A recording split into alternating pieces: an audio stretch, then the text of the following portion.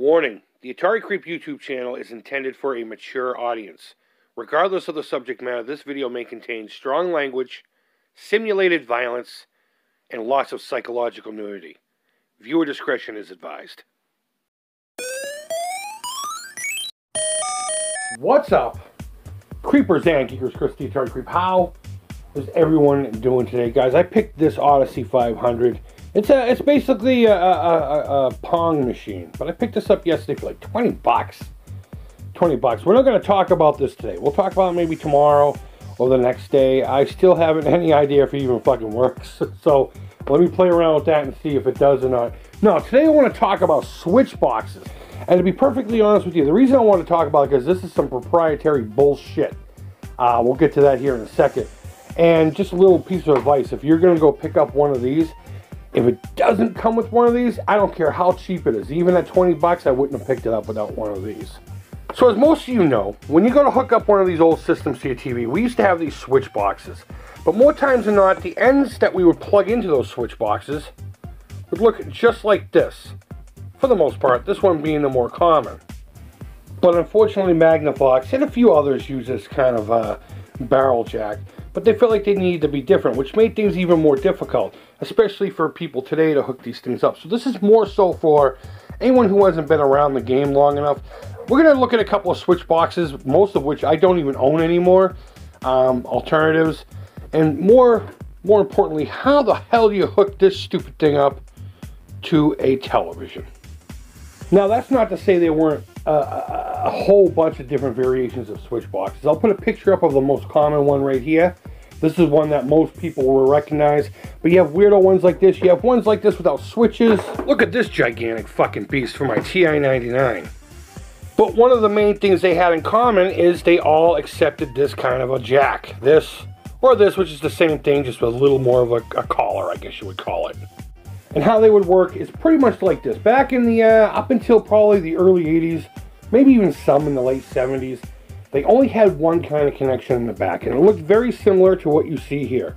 It was a couple of screws. Some TVs only had two. Some TVs had four, six, eight, depending on how fancy of a TV you owned.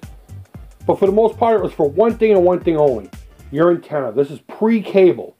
So you had to get the signal in the house somewhere. So you either had an antenna outside and had a wire going into the house, or you bought those rabbit ears that would sit on top of the television, which more than likely didn't do shit unless you had a mile of tinfoil attached to it, and somebody would be there fidgeting the damn things all fucking day long. It was a nightmare before we got cable. But they would all connect with these little prongs, these fucking devil pitchforks. Now, I know AVGN said that, and I'm not copying it. We used to call that, we used to call these them um, back in the day as well. So regardless of this being a proprietary system, they all pretty much had the same function. You would plug this into the TV, because remember, a lot of TVs back then had maybe, maybe two inputs, okay? And then you would plug your antenna to this right here. So now you have a pass-through.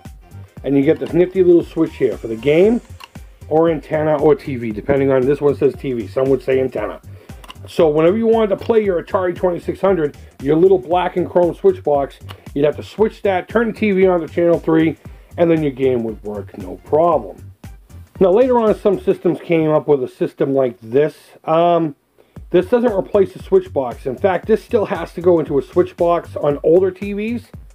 But today's modern TVs, you can just put this in the back, and we'll talk about that here in a second and all is good. It's just basically a cable that goes from one end to another. But these, even still, you would think this would be some kind of a, uh, switch box. And, and, Nintendo had the same thing, but it was just gray. Sega had it for theirs up until they started using AV stuff. Um, it was, it's all pretty much the same thing, just with a different different package.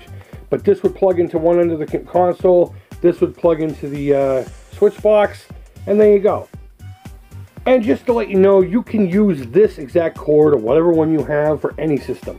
I keep this one plugged into the back of my television.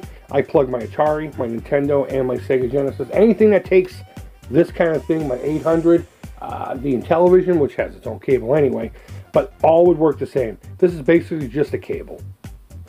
Now, eventually, we, we had no use for the antenna screws or whatever. We got we got ourselves this nifty little thing called a coax input. When I was a kid, they called it being cable ready. So now you have a little nipple on the back of the TV with some screws on it. that automatically goes to whatever channel you set the damn thing to. You can get rid of that stupid box now and get yourself one of these. And I've used these for years. I got a whole drawer full of these things.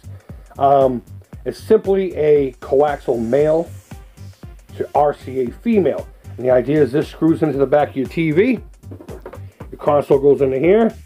And you can tell that switch box to go fuck itself. Bringing us all the way back to this proprietary bullshit. Now, one thing I will say that this has above all the others is the other ones would come with double sticky tape they could stick to the back of your TV. And if you look at the back of one of those really old TVs, I'll try to bring that image back. You'll notice in the particle board covering the rear, there are holes everywhere for ventilation. Well, they were nice enough to give you a little hook, a little hook to put this thing in so you can screw this into your deal. Now, you can't use any of the solutions I talked about with this bad boy because there's no way to plug it in. This will only work with its compatible female counterpart. So how do you get this thing hooked up to a TV if you can't connect it to modern shit? It's actually a really simple solution. I just don't know how available they are. You need to find yourself one of these bad boys right here. This is as primitive as a connector as you can fucking get. Simply put, you screw the little evil prongs into this. This pops into your coax in the back of the TV, and Bob's your uncle. I have to use one of these for now this Magnavox Odyssey. And we'll find out in this video if it works. And if it does, expect a review of this thing. If it doesn't work, don't expect a review of this thing. But I have to use this for not only this, but I also have to use it for that nightmare that came with my TI-99.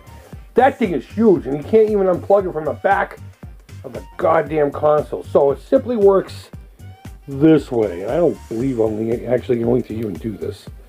I don't think I should. I think it's too simple of a, of a tutorial. I think you can figure out screws. You just slip it in like that. Boom. Slip it in like that. I do have one thing to say though. I do have one thing to say. And there you go. Nice and solid. Make sure your connections are good because this is probably going to be hanging at some point. AVGN did a video on Pong machines back in 2011, I think. Doesn't matter when it came out. But he showed that he had a console that only had this kind of a connection and one of these prongs are missing. If that happens, you're still in luck, my friend. All you have to do is take the wire that's coming out of here and wrap around the screw and then secure it as tight as you can. All this is, is a connection. It has no other function than to pass the electricity to the wire. It's crimped onto the actual wire itself, and it just makes it more convenient to connect it to this little doohickey. So if you have one of these that have one or both of the prongs missing, as long as you can get some wire off of it, wrap it around that tight, you'll be fine. You're not going to cause any fires, no electrical shorts or anything. Um, if you know this is all you're going to use it for, you could even solder it together uh, if you have any soldering skills. It wouldn't be that hard to do. Now this isn't the TV that we're going to be testing the Odyssey on. We're going to go into the bedroom to do that where I normally record videos. This is just an extra TV I have laying around for if and when I ever get my own little setup. But where do you plug this monstrosity into? Right here. There's, an, there's a little coaxial. Little coaxial. I call it a nipple. It's a little nipple that has threads on it. That's it. That's all you need to do. Make sure it's on channel 3 and you can fire this bad boy up. Just to be thorough and show you. Remember this guy? This screws into the back just like that. Okay. Now I'm not going to screw it all the way because I want to put it in my actual TV. And now it's ready for any kind of input device like this, or your Atari 2600, or your 800, or your Intellivision. I always have one of these plugged in, and this box is always in the back in case I need to feed that to a console that doesn't have built-in cables. But this will fit right in there, and I can pull it out and switch consoles whenever I like. Easy peasy. I would recommend you having a box of these. All right, so we have the TV on the channel 3. We have the cable into the box. The box is on computer or game, depending on what box you have. It's plugged into the adapter. The adapter is jammed into the back of the TV. I'm not anticipating a great connection here because there's not a lot of room. But we'll figure it out one way or the other. Together, we're going to find out if this Odyssey 500 works and if there's going to be a review this week. So, in three, two, here beeping. All right, cool. We do have a picture. Let's see, reset works. Yep, reset works. This is what's great about this unit. Just a little heads up. Um, you get little characters instead of paddles. That's the claim to fame here. So there you go. So you don't get a seizure, I'll turn that off. I'm gonna have to clean up all the connections, see if I can't get that flicker to go before I review it. But hopefully if uh, switch boxes or these weird proprietary ones were a mystery to you, you learned something today. And if uh, you already knew all this stuff, I uh, hope you stuck around anyway just to, just to support what I try to do here. Guys, I really do appreciate you sticking around and watching something like this. This is more so for the younger cats or anyone who might have a system that they're just like, ah, fuck, how do I get this on the TV? And I know there's a few you experienced people out there. a good friend of mine, he had all kinds of systems, and one day he came up to me with an actual Magnavox Odyssey 2 and was like, how the fuck do I play this on my television? And I had to show him. So guys, let me know down below if there's anything that you think I missed, if this helped you out, or if it was just more of the same you just felt like sticking around anyway. Guys, go ahead and leave your feedback. Thumbs up, thumbs down, all feedback to the Creepers Positive. Don't forget, we are still in full swing with the Alzheimer's Association. All information is down below. Lots of great prizes we'll talk about here in the next uh, next couple days. I need to do an update video and a thank you video. I have been kind of lacking on that and I apologize. I try to get one of those out at least once a week like I did the past few, few years. Um, but we will get to that soon. Don't forget, we got a couple of games we're still giving away. Read the shit down below. I Still have uh, the controller at the end of all of this to give away from Retro Game Boys. It's your choice. Your choice of a gamepad. Awesome, awesome stuff. Guys, I hope you're doing well. Thank you always so much for watching. I really do appreciate it. Stand by looking for this uh, this Odyssey 500 review. As soon as I get the, the picture to come in fine, um, we'll get that going. I hope you're excited. Guys, hope you're doing well. Thank you always so much for watching. I can't say that enough. And until next time, take care. Creep it real. Creaky floor. And bye-bye.